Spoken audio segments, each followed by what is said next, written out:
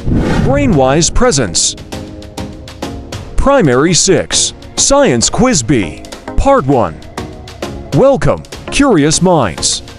Today we're exploring the wonders of science together with 20 awesome questions. Are you ready to become a science superstar? Let's go! Number 1.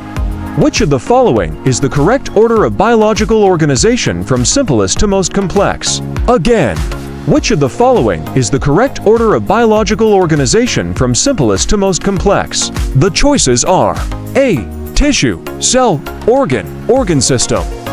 B. Cell, tissue, organ, organ system. C. Organ, organ system, cell, tissue. D. Cell, organ, tissue, organ system.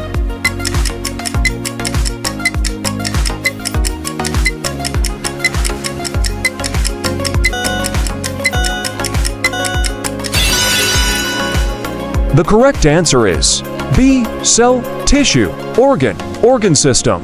The basic unit of life is the cell. Cells with similar functions group together to form tissues. Different tissues work together to form an organ, and organs work together in an organ system. Number 2. What is the primary function of the roots of a plant? Again, what is the primary function of the roots of a plant? The choices are A. To absorb water and nutrients from the soil. B. To make food. C. To produce flowers. D. To spread seeds.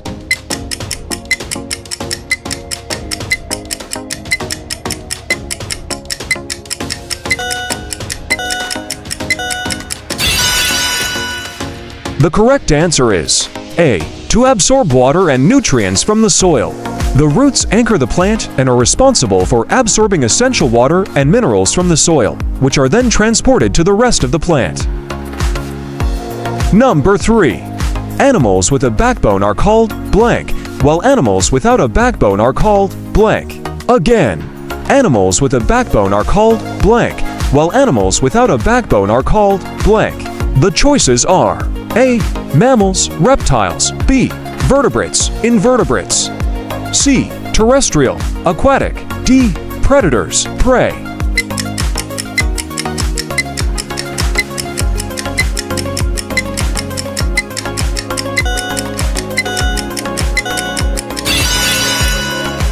The correct answer is B. Vertebrates, invertebrates. The presence or absence of a vertebral column backbone is the primary classification that divides the animal kingdom into vertebrates and invertebrates. Number 4. What happens when you mix an acid with a base? Again, what happens when you mix an acid with a base? The choices are A. An explosion occurs. B. The mixture becomes more acidic. C. The mixture becomes more basic. D. They neutralize each other.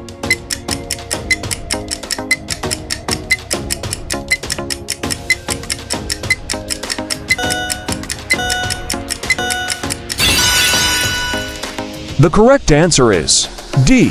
They neutralize each other. When an acid and a base are mixed, they react in a process called neutralization. This reaction typically produces a salt and water, bringing the pH closer to 7 neutral. Number 5. A ball rolling on a grassy field slows down and eventually stops. What force is primarily responsible for this? Again, a ball rolling on a grassy field slows down and eventually stops. What force is primarily responsible for this? The choices are A. Gravity B. Magnetism C. Air pressure D. Friction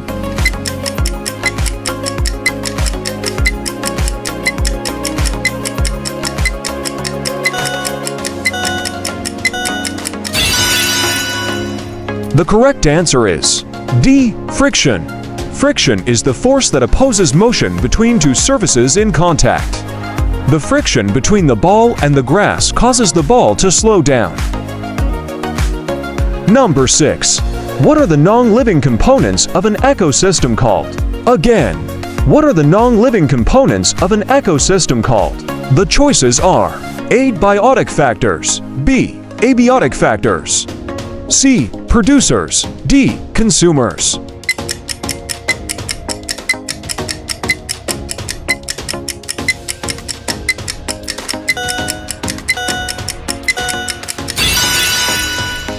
The correct answer is B. Abiotic factors. Abiotic factors are the non-living parts of an ecosystem, such as sunlight, water, soil, and temperature. Biotic factors are the living or once living parts, Number 7. Which of the following is an example of a renewable energy source? Again, which of the following is an example of a renewable energy source? The choices are A. Solar power B. Coal C. Natural gas D. Petroleum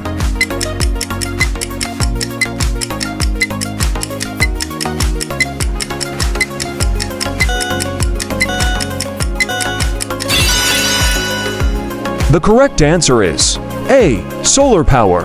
Solar power is a renewable resource because the sun's energy is virtually inexhaustible. Coal, natural gas, and petroleum are non-renewable fossil fuels that will eventually run out. Number 8. What is the outermost layer of the Earth called? Again, what is the outermost layer of the Earth called? The choices are A. Mantle B. Outer core C inner core, D. Crust.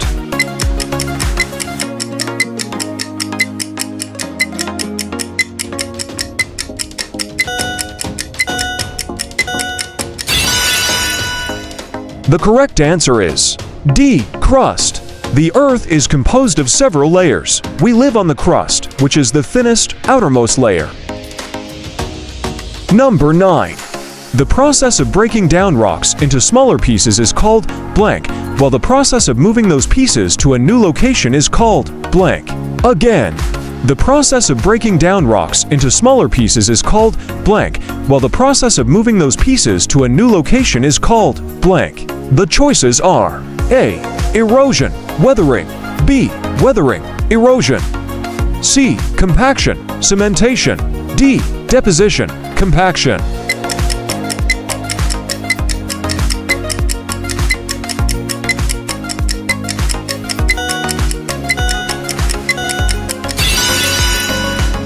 The correct answer is B. Weathering, erosion. Weathering is the breakdown of rocks at the Earth's surface. Erosion is the process by which wind, water, ice, or gravity transports the weathered material. Number 10. What is a galaxy? Again, what is a galaxy? The choices are A. A single star and its planets. B. A large cloud of gas and dust. C. A massive system of stars, stellar remnants, interstellar gas, dust, and dark matter. D. A group of comets orbiting a star.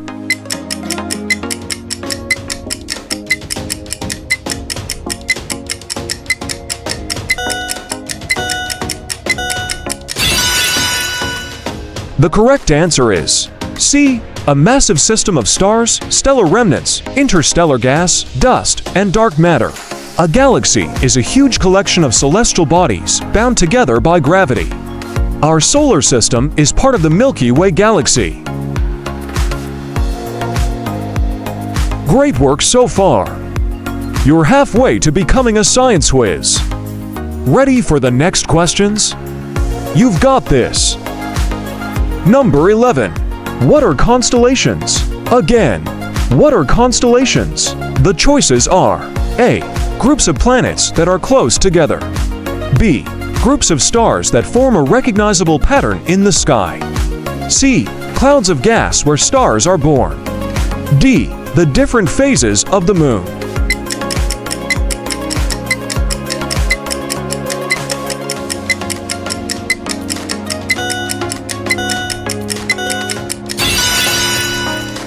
The correct answer is B groups of stars that form a recognizable pattern in the sky. Constellations are patterns of stars that people have imagined to look like animals, objects, or mythical figures. Examples include Orion and Ursa Major the Big Dipper. Number 12. A pendulum swinging back and forth is an example of what type of motion? Again, a pendulum swinging back and forth is an example of what type of motion? The choices are A Periodic motion. B. Linear motion. C. Random motion. D. Rotational motion.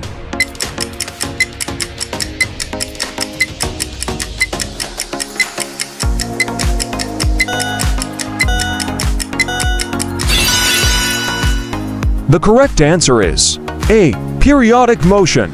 Periodic motion is a motion that repeats itself in equal intervals of time. A swinging pendulum and a planet orbiting the Sun are examples. Number 13. Which of the following is a way to conserve resources by processing used materials into new products? Again, which of the following is a way to conserve resources by processing used materials into new products? The choices are A. Reducing B. Reusing C. Recycling D. Repurposing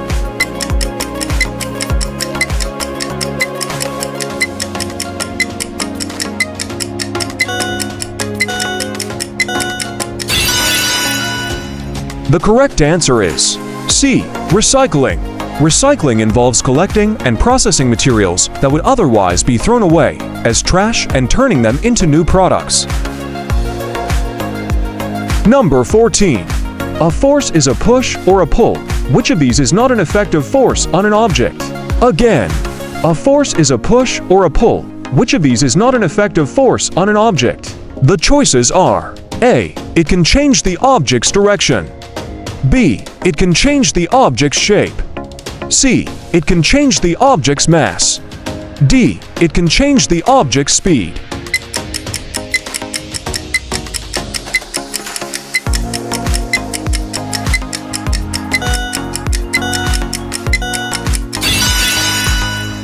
The correct answer is C. It can change the object's mass. A force can start, stop, or change the direction of motion and it can also deform an object. However, force does not change the mass, which is the amount of matter in an object. Number 15. Which two organ systems work together to transport oxygen throughout the body? Again, which two organ systems work together to transport oxygen throughout the body? The choices are A. Digestive and nervous B. Skeletal and muscular C respiratory and circulatory, D. Endocrine and excretory.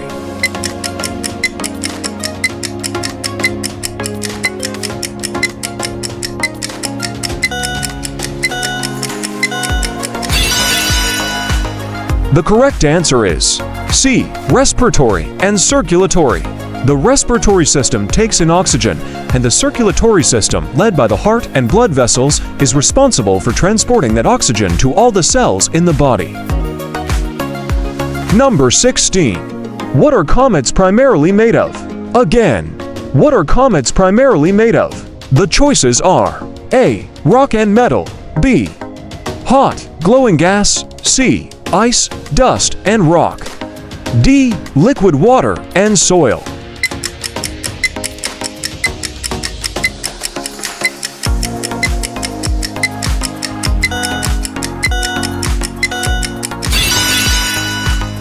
The correct answer is C. Ice, dust, and rock.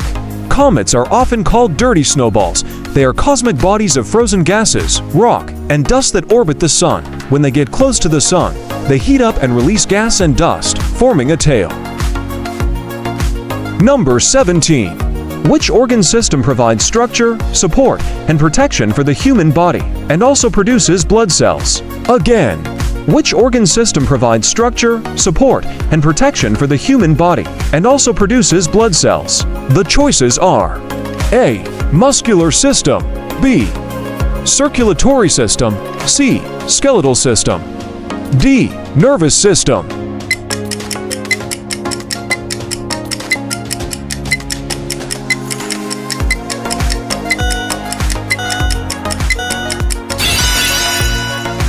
The correct answer is seen Skeletal system. The skeletal system, made of bones, cartilage, and ligaments, provides the body's framework, protects vital internal organs, and bone marrow is where new blood cells are made. 18. What is the important role of organisms like fungi and bacteria in an ecosystem? Again, what is the important role of organisms like fungi and bacteria in an ecosystem? The choices are a. They are primary producers. B. They are apex predators. C. They are decomposers. D. They are parasites.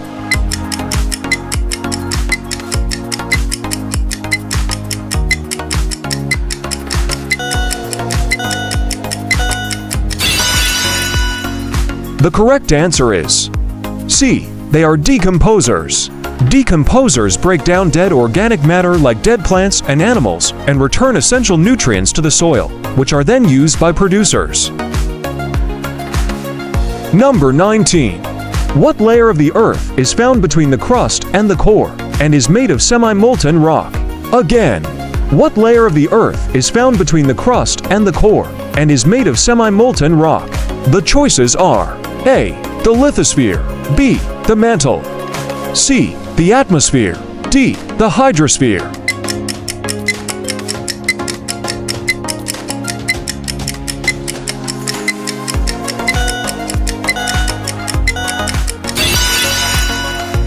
The correct answer is B. The mantle. The mantle is the thickest layer of the Earth. It is composed of hot, dense, semi-solid rock that flows in convection currents, which drive plate tectonics. Number 20. What instrument is used to measure air pressure? Again, what instrument is used to measure air pressure? The choices are A. Anemometer B. Thermometer C. Barometer D. Hygrometer